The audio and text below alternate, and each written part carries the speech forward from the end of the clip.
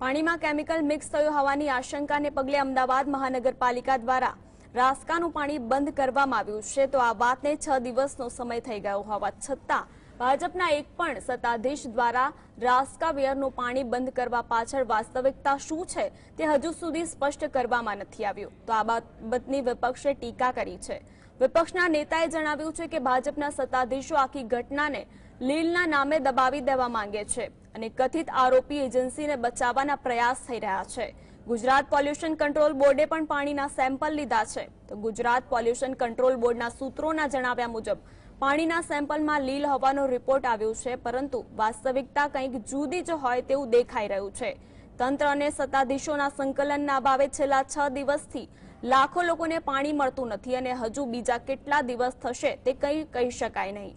તો આ પરિસ્થિતિમાં સેડી કેનાલથી રાસ્કા વિયર સુધીના રૂટ પર કોઈક સ્થળે ઔદ્યોગિક એકમ દ્વારા કેમિકલ નાખ્યું હોવાની દહેશત વચ્ચે પણ. ક્યાંક ને ક્યાંક એવું લાગે છે કે Gujarat pollution control board municipal કોર્પોરેશનના અધિકારીઓ અને ભાજપના સત્તાધીશો આ આખી ઘટનાને લીલના નામે દબાવી દેવાનો કારસો કરી રહ્યા છે.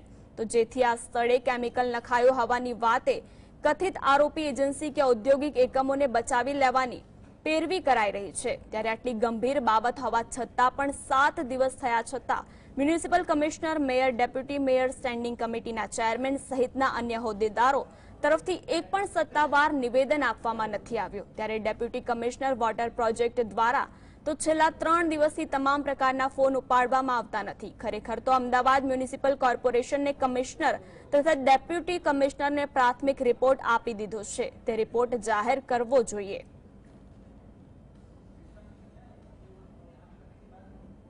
किसी इलीगल केमिकल फैक्ट्री ने वहाँ पर केमिकल का टैंकर डाला गया है। ये बहुत दिनों से एक चर्चा का विषय बना हुआ है। और एक तरफ़ अहमदाबाद म्यूनिसिपल कॉरपोरेशन का तंत्र, भारतीय जनता पार्टी के अहदेदार और गुजरात पॉल्यूशन बोर्ड, अभी तक ये पता नहीं लगा पाया है कि वहाँ पर हुआ क्या है। कहीं ना कहीं म्यूनिसिपल तंत्र और गुजरात पॉल्यूशन बोर्ड ये बात को दबा रहा है कि शेडी कैनाल में केमिकल का टैंकर डाला गया है और भारतीय जनता पार्टी के इशारों से काम कर रहा है। कांग्रेस पार्टी यह मांग करती है कि इतना करोड़ों का बजट होने के बाद, डिजिटल इंडिया स्मार्ट सिटी की बातें करने के बाद, आज हमको ये भी नहीं पता लग रहा है कि वास्तविकता क्या है।